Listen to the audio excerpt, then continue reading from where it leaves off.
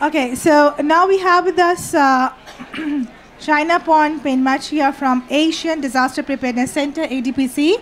And uh, she's already here. She's going to talk about learning from the nature, indigenous knowledge induce flood early warning in Nepal.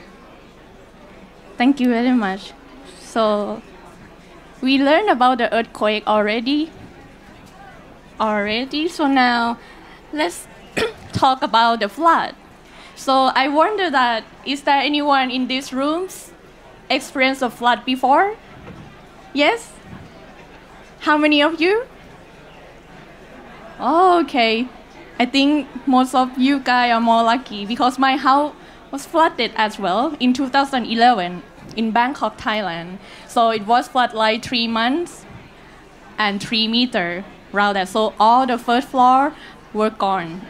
So then, how can we cope with that, with the climate change and everything's going on? So today, I'm gonna talk about the indigenous knowledge that we work uh, together under the research with the cooperation with the ODI, ADPC, and IDE local uh, partner in Nepal uh, under the BRACE project. Okay, so have a look at the situation in the flood in Nepal. So thank you for the practical action. This is a picture from them during the flood 2017. You can see that they have a good system, the res- rescue team, and they're also aware of the vulnerable group as well. But the climate change is still going on. The intensity of the rainfall is start to uh, getting more uh, intense. The flood is getting more often and often. So we have technologies. Thank you. So we have a rain gauge, a rainfall station, and also the manuals, the electricity system, the network from the mobile phone. But it's hard to be always optimistic with these technologies, right? Sometimes when the flood wash away the station, how can we cope with that? Or the electricity system fail, or the mobile phone networks couldn't work anymore. So from now on, I just would like all of you close your eyes a bit and listen. Um, how can I play with this? I know that you guys has been so busy during the whole week of GPDRR. I just want you guys to close your eyes a bit, listen to this. How long that you uh, doesn't have a chance to get close to the nature? How nature wide even before we born, right? How they cope with that? So then, from our research, I know that my background is also from architecture. Now I moved to hydrologist. But then uh, this is a Frank Lloyd Wright, the great architect. So his design trying to understand the nature and learn from that. Study nature, love nature, stay close to nature. It never fail you. And sometimes it fails, sometimes, I know. However, from the research, we went to talk with the communities. Uh, we went to talk uh, the community in the Kankai Basin in the eastern part, Karnali Basin in the western part, to hear how they cope with the flood by their own knowledge. So then they tell us, ants, our small uh, creatures, animals. So they told us that if they start to see a lot of huge amount of ants start to move their eggs, that means there is something going on. The big flood gonna come because of what? Because of the infiltrations under the soil layer, it start to accumulate more to disturb the nest. So that's what they try to observe with the nature. They also said that if flying ants start to failing down their wings, that means that okay, the moist in the air start to accumulate more. It's too heavy for them to uh, fly, so they start to relieve their wings. That's what they try to observe the situation. Look at the sky. today I have seen outside quite clear sky, so I think we don't need to worry about the rain here. But the community told me that if they see the cumulonimbus cloud, which is look like a um, UFOs uh, or a wheel, maybe the, the, the colleagues from the WMO know better than me. But they say that if they start to see this type of cloud in the early mornings, it means that hey maybe i should prepare. Maybe then they uh, dry the clothes. They should like take it back from the uh, outside or they will prepare from that. This is going to be like maybe four to six hours uh, ahead to have a, a rain.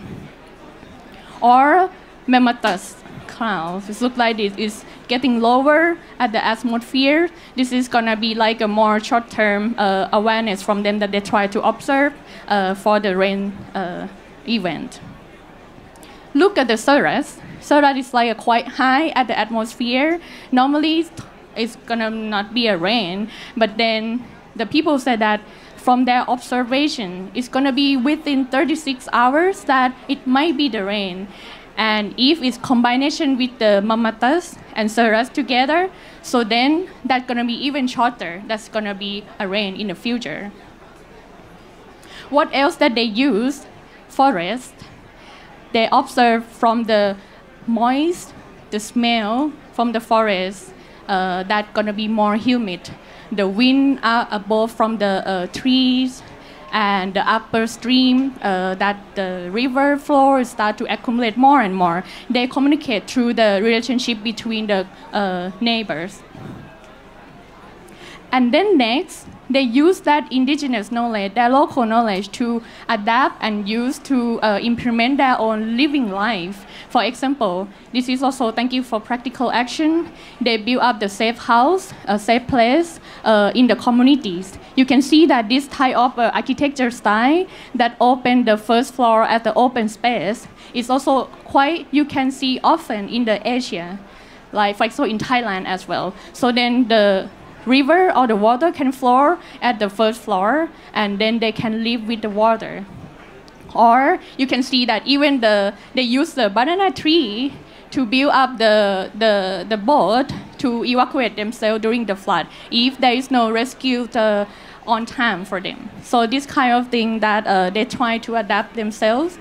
However, indigenous knowledge cannot play only one man right? It should be like a knowledge across the scale from national level, provincial, and to the local level to discuss and talk together to find the gap that how the indigenous knowledge can implement and integrate to the uh, in the national system of the early warning system to try to supplement each other. It's like a relationship that boyfriend and girlfriend have to meet in the middle somehow, and that's gonna work well, I hope. So then um, you can see that if we integrate the internet knowledge to the science information, that's gonna enhance and build the community resilience together. And you can see the smile like these uh, three ladies everywhere. So thank you very much.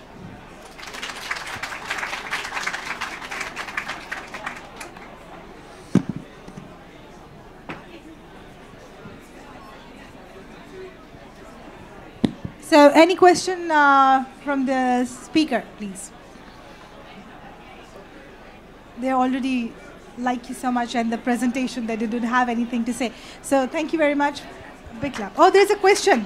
Oh, okay. Um, hi, I'm Daisy Hessenberger from the International Union for the Conservation of Nature, and we work on projects with a people focus so about building resilience with nature and with people, for nature and for people. And we're very aware of the importance that indigenous knowledge plays in those situations and the opportunity there. But it can be quite hard to access. Do you know of any repositories or plans to gather this kind of knowledge to make it a little bit easier for, for projects to integrate and work with the uh, indigenous people? Yes, that also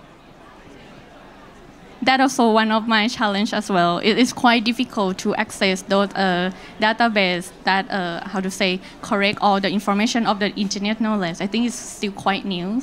But then there uh, start to have more the research paper I found in the Mala, Malawi case study that most of them uh, use like for example hippopotamus gonna uh, move themselves from the pond if the floods come but to be frank with you I'm also struggling about that as well maybe we can help each other and correct those data to take yeah thank you Any other reflection or comment? Or do we have somebody here as well?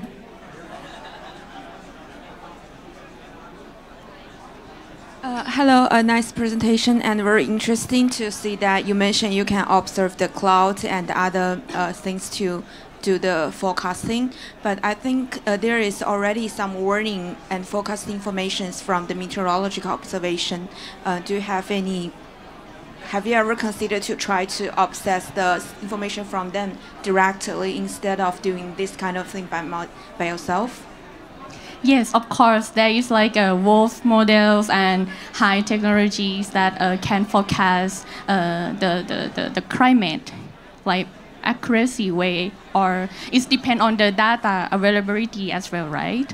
But uh, to integrate the local knowledge or indigenous knowledge, it's kind of like there will be not everywhere, right, that have a, a perfect database. Or, for example, in the transboundary issues area, the border of the countries, or the area that the community is very poor, like it's very less access or the uh, capacities even the knowledge of the people there, sometimes they cannot, maybe we have a good system at the national level. We send the warnings, the good accuracy of the forecast, but then the people even cannot read and understand. So this kind of indigenous knowledge, somehow, if we can integrate together, it's kind of like help them to to observe by themselves and they feel belong because they use that indigenous knowledge to survive before. But however, I understand in your point, this indigenous knowledge somehow also need to validate and see together with the technology and the science information as, as you mentioned well together. I think it should work together, not just one or the other. Yeah, thank you. One more quick, please. Thank you. Thanks for the good for, for the thanks for the good presentation. I just want to know one thing: How do the indigenous uh, knowledge holders uh, open up to the new scientific information? Good question. As, as I'm doing a research with the team right now, we really see the gap between the indigenous knowledge and the national levels. But I feel like if we, as the researcher, or uh, you guys, when you work and we try to initiative uh, difference, uh, how to say, early is at the difference across the scale at the same table. Or we play at the uh, role as the bridge the gap link the provincial level, national, and the local level together. Maybe uh, one of the user engagement meetings at the workshop to share this thing together. I feel like the most important from the beginning of the project of the early warning system that gonna enhance the local level. We should uh, initiative all the different scales together. So then it's kind of like a buy-in. Uh, that feel like belong and understand each other, not not just like talk with the local and then separately. It, it should be like together. Yeah, thank you.